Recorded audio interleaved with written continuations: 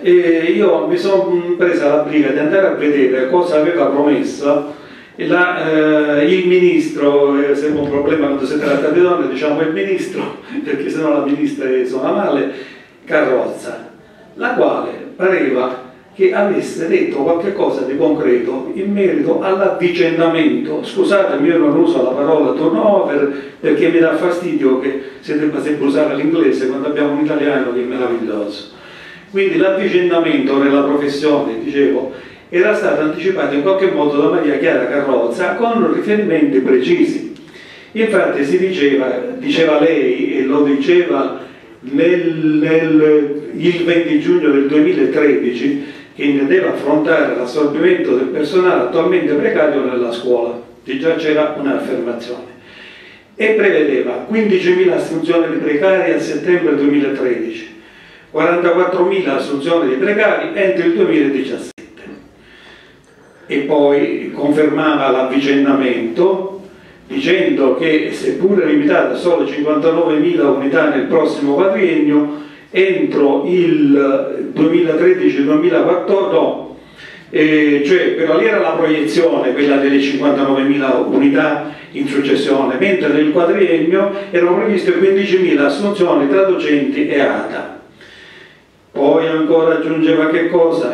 Che nel triennio 2011-2013 questi 15.000 precari sarebbero andati a essere stabilizzati nella scuola e in più prometteva la stabilizzazione di una consistente fetta di eh, precari del sostegno in maniera che così si potessero vedere a qualcosa di importante che adesso il nostro precedente relatore ci ha fatto vedere quanto sia importante quanto sia bello potersi dedicare a questo.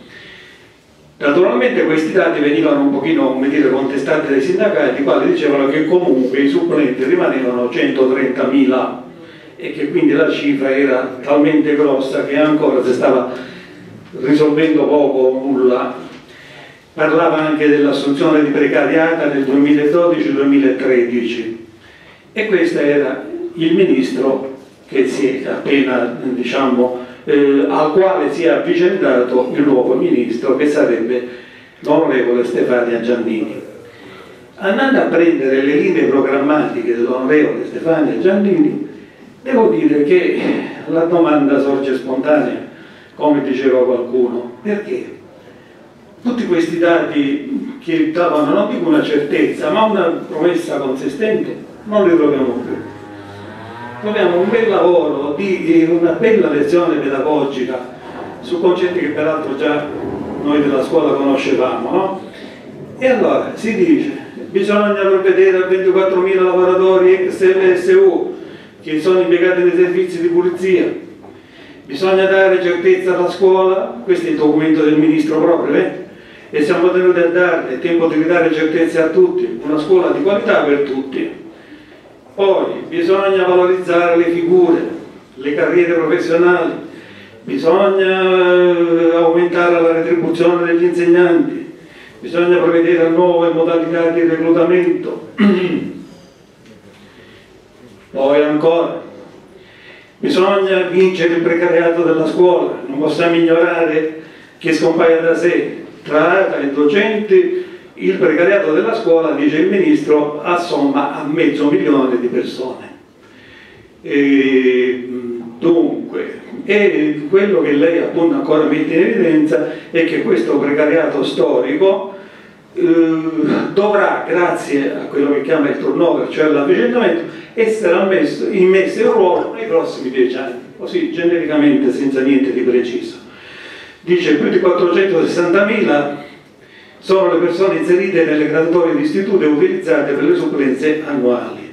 Abbiamo 10.000 abilitati in tirocinio formativo attivo, 70.000 hanno maturato titoli di servizio, abbiamo 55.000 diplomati magistrali, 40.000 idoni dei vecchi concorsi e dice questi precari della scuola nel lungo periodo, il lungo periodo mi preoccupa non poco, andranno, andranno assorbiti.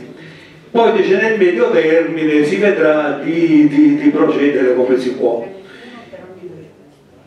E, dunque, dunque, e che poi si eh, propone di creare un gruppo professionale qualificato per la formazione dei docenti e per l'integrazione. Scusate, io sto un pochino tagliando dagli appunti, quindi delle volte ho dei momenti di, di, riflessione. E bisogna anche provvedere a che si eh, aiutino queste persone a conseguire un titolo di abilitazione, in maniera che poi dice, nel futuro quando le risorse finanziarie lo, lo consentiranno, sto andando ancora a sintetizzare, tutta questa gente potrà essere sistemata, in maniera che eh, quando avremo stanziamenti certi avremo anche delle certezze.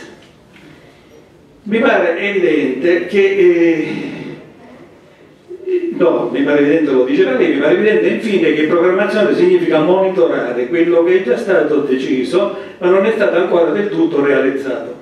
Quindi lei sta monitorando quello che già prima sembrava deciso.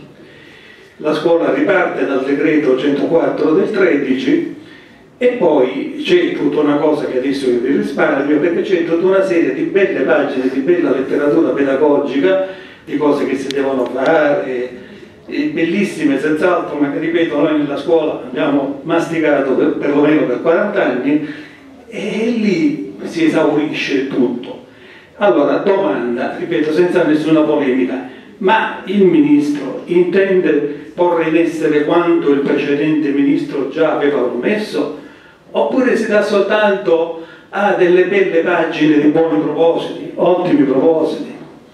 Un'ultima cosa, questa è tutta mia, so che parecchi non la condividerete, io vorrei anche che il Ministero riflettesse di nuovo sulla terminologia, perché scusatemi, Purtroppo sono un vecchio uomo di scuola, a me la parola dirigente non piace. Per me uno è preside, perché preside sa di scuola, dirigente per sa di di Cirio, di Pirelli, di altre cose.